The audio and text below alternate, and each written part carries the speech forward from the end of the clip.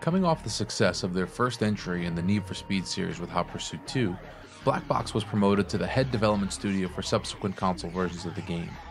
Not only was this a major change for EA, as EA Seattle, the originators of the Need for Speed franchise, were now no longer at the helm of development, but there was just as big of a change happening within car culture itself of the early 2000s. This was a result of a small film that you may or may not have heard of called The Fast and the Furious, which hit theaters in July of 2001, just before the release of Hot Pursuit 2 that October. And the zeitgeist following the movie created an entirely new generation of car people and saw drivers at the time have a fascination around JDM cars and car customization as well. It was now cool to take your average grocery getter like a Honda Civic and cram air intakes, body kits, wheels, and of course nitrous oxide under the hood to make something completely different than what you started with. The impact this film had on the car scene in the US can't be understated, and I'll leave links below to a wonderful Motor Trend article discussing this with some of the cast members and companies that supported the movie's production.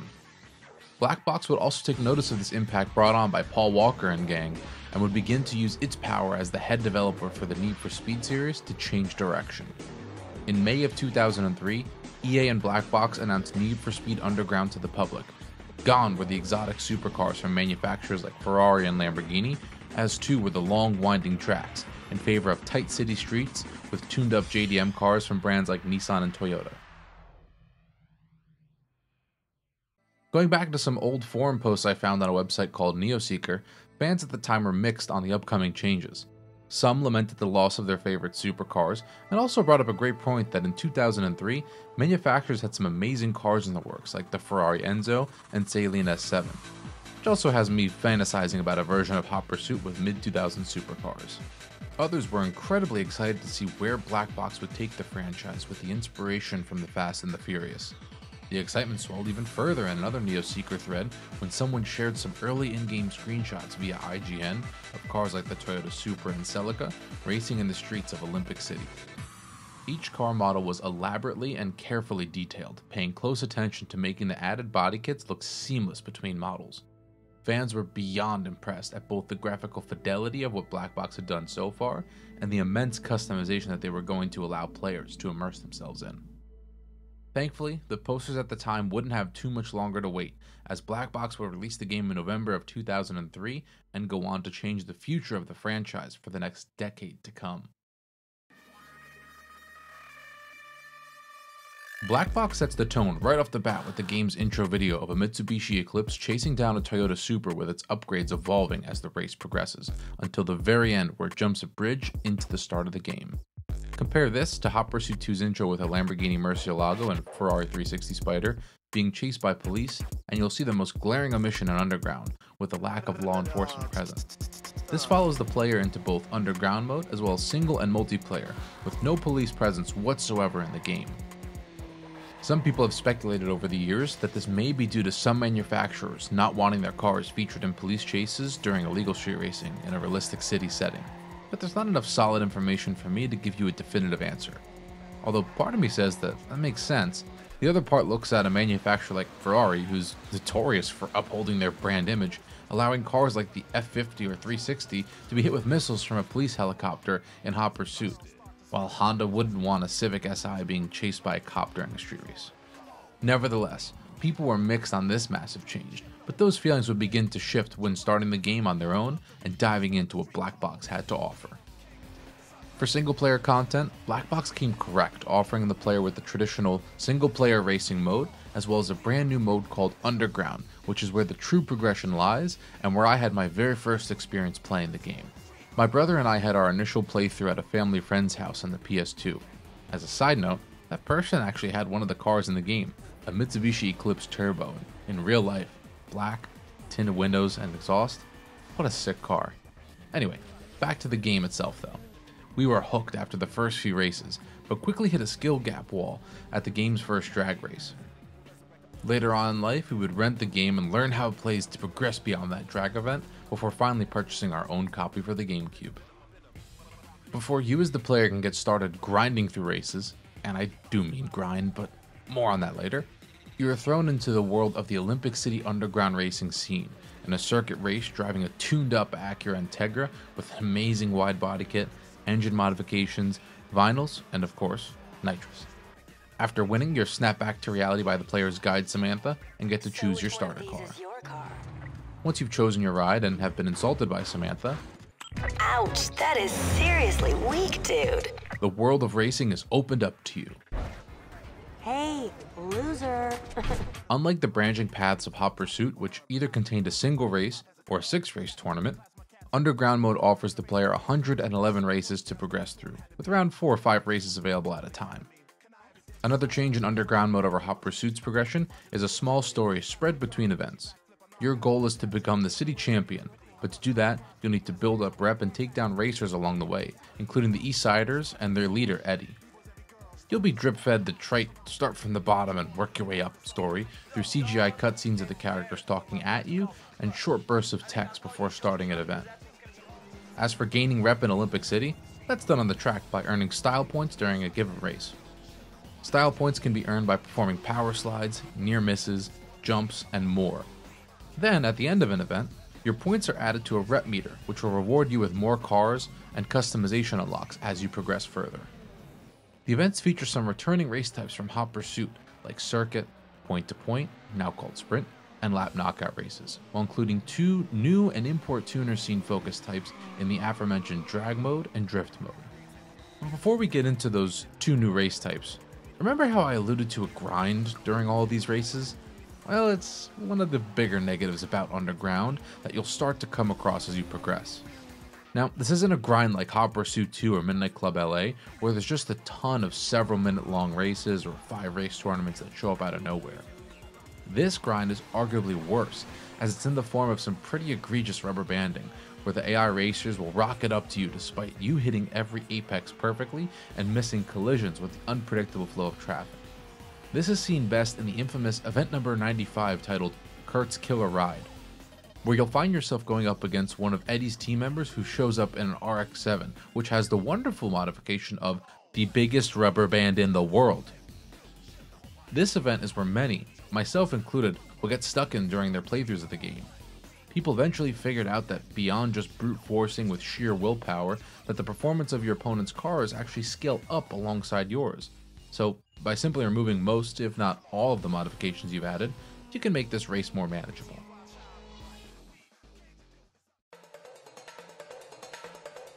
Anyway, back to those new modes I mentioned.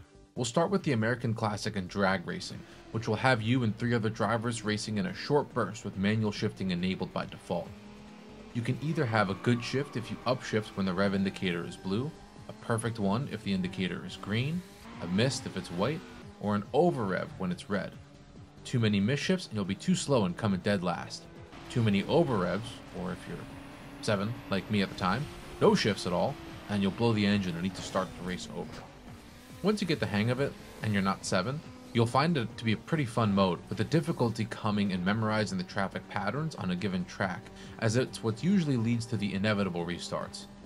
Changing lanes is a simple matter of tapping left or right on the joystick to change lanes, and while this sounds simple on paper, in practice it adds to the traffic challenge, as a lane change too late will result in a total and the aforementioned restart of the event. One of the best parts of this mode to me is the incredible sense of speed that Black Box was able to portray. The sound of the rushing wind pushing against your car and the neon lights of surrounding city and racers become a blur the instant you hit the nitrous button in the car. Bonus points if you're playing on the GameCube like me, because the B button looks identical to the ones featured in the Fast and Furious. And before you say it, I'm not a dork, I'm just getting into character. Drifting, on the other hand, is an entirely different beast from both drag and the more traditional races. No tap to change lane here any semblance of grip. Enter the slickest surfaces you have ever driven on. So slick, in fact, that you can even enter drift events in a front wheel drive car. You know, just like the real professional drifters use. All jokes aside, I'm not actually too bothered by this, as it makes each event much more accessible to younger gamers at the time, like myself, and at the time not having to worry about drivetrain layouts. We can save that job for Gran Turismo. Alongside this, the physics are not hyper realistic, but provide a great sense of enjoyment when chaining drifts together to maximize your multiplier. And during a drift event, you'll find yourself performing a solo run on track, fighting against the scoreboard with your opponent's score constantly increasing, which pushes you to drive harder and get closer to the wall. Just be careful not to hit it, because not only will the score you've been building be lost, but the multiplier you've earned will go away as well. Black Box including this game mode was a brilliant idea, as the D1 GP series of drifting was beginning to take off in its home country of Japan, and was also starting to reach American shores by 2003 in California. Drift racing also fits the theming of fast, flashy Japanese cars with big wings and wild graphics, which is something that Underground would introduce to the Need for Speed franchise and redefine what gamers would expect from a racing game. Overall, the Underground story mode was a great change of pace from the previous entries in the Need for Speed series as a whole, especially from Hot Pursuit 2, which in my previous playthrough for the last video did start to drag on a bit. The Underground mode provided a much needed structure and flow for the game progression. To me, this shows the major shift in design philosophy from Black Box for Need for Speed as it ushered in the move away from branching paths and single races to focusing the gameplay loop around a story which moves forward alongside the player's progression. You look like a dork. Is that supposed to impress me? A story-based progression and updated race roster is nothing if you don't have cars to drive with. And that brings us pretty nicely to the other change in direction from Black Box in the vehicle list.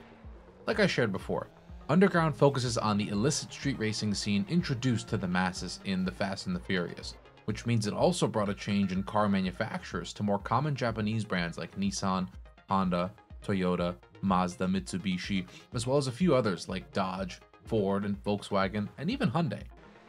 While all of these brands may sound like ones you could have encountered on your morning commute, the models included are just as exotic and hard to find stateside, especially nowadays, as some of the ones in Hot Pursuit, with cars like the FD RX-7, Honda S2000, and my personal dream car, the Nissan Skyline GTR.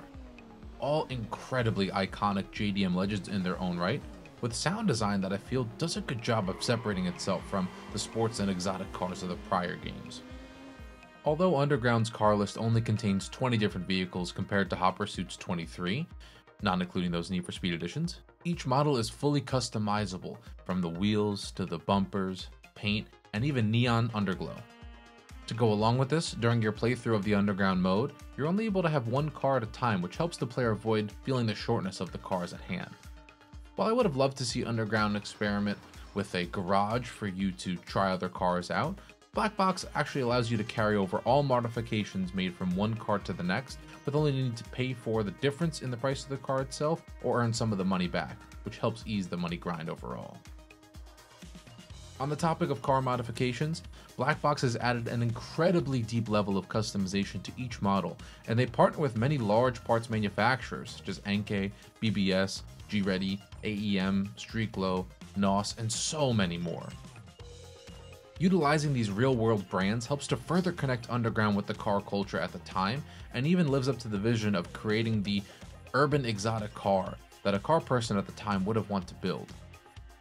Now while the game has a ton of parts and customization for you to throw at a given car, a bulk majority of them are locked until you've earned enough rep in underground mode, and even further still aren't unlocked until you've purchased the parts, which is a bit of a bummer, because money can be a bit tight during the early game. What isn't a bummer though is the customized ride mode of the game, where once you've purchased and unlocked the parts, you can become your own performance shop and go wild on tailoring each car to your specific tastes. By today's standards, the customization is a bit basic, but in 2003 this was groundbreaking. The amount of visual customization for vinyls and paint colors alone is enough to keep you busy for hours, all while retaining the high graphical fidelity of each car model. One small downside of this mode though is that each car can only have one given version of it at a time, but Black Box allows you to save a car's modification to be reapplied later if needed. Each car also gets a star rating based on the level and amounts of visual parts used, alongside the vinyl and paint jobs applied.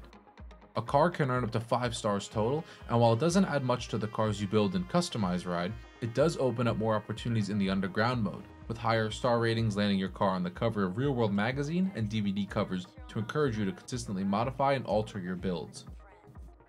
Beyond the standard 20 cars that can be customized, players can also unlock some unique versions of models via cheat codes to use during single and multiplayer races.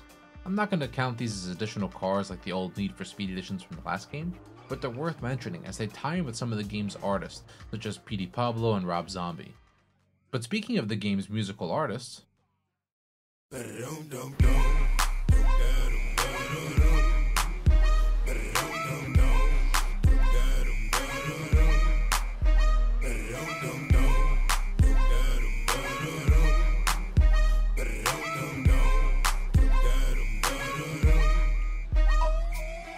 Following the successful addition of licensed soundtracks to Hot Pursuit 2, we once again see licensed music from popular artists of the era return. Unlike the last game though, we see a major shift in the types of music, going from a majority of grunge and rock and a little bit of techno, to a heavy dose of rap, rock, and even more electronica on offer. Black Box did a wonderful job spacing out the genres too, with the bulk of the rap music to the main menu and the customized ride mode, with the now iconic Get Low by Lil Jon and the East Side Boyz, the runner up for the song that is definitely better censored than uncensored award, starting us off very strong. Beyond Lil Jon, we also have some great follow up with Keep It Comin' by Nate Dogg, a very different song to the previous Keep It Coming by Uncle Kracker, and one of my personal favorites, 24s by T.I. So much of this menu music is ingrained into my brain from the hours of time I spent as a child customizing hundreds of cars, which adds to the addicting gameplay loop of building a car, racing it, and removing modifications to do it all over again. Beyond the changes to the music itself, the presentation of each song and genre has also changed completely from Hot Pursuit 2. Previously, during the Hot Pursuit modes of the game, Black Box had introduced the instrumental version of menu themes during racing. But for Underground, the menu music and racing music are separated by genre, with the previously mentioned rap being contained to the menus. While the main menu's rap tracks are forever locked into my subconscious, the guitar riffs from songs like Two Lane Blacktop by Rob Zombie are right behind them, and the beats from Doomsday by Overseer will never fail to add to the blur of the city as you battle it out for first place. And when the intro song of Kimosabe by BT comes on, oh man, do I seriously get a bad case of main character syndrome and kick up the tryhard levels a few notches.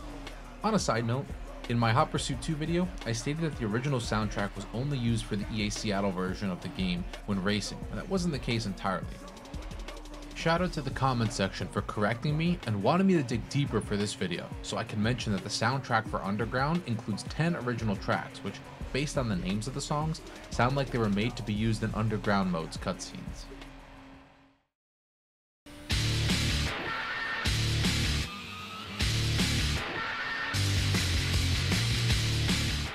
Black Box rewrote the rules for both the Need for Speed franchise and the entire genre of arcade racing games with Underground. While other games had aspects of customization and even JDM cars, such as the Tokyo Extreme Racer series, which really does deserve another look back. Man, do I love that game. Black Box and EA did it with one of the biggest racing franchises at the time. Much like the Fast and the Furious influencing car culture at the time, Underground would do the same in video games, ushering in a new generation of racing games for years to come. While the rubber banding AI and small car roster do put some scratches on the rose tinted windshield of this Nissan Skyline, this cheesy story dialogue, absolutely amazing soundtrack, and of course, the hours I've spent customizing cars in my life help balance out those negatives. Now, usually I like to end my retrospectives on a note of should this game come back or does it hold up today? For Underground specifically, well, I'm a bit mixed on this now 20. God, again with the feeling old, year old game holding up or coming back. But that's not because this game is bad or boring. Quite the opposite, actually.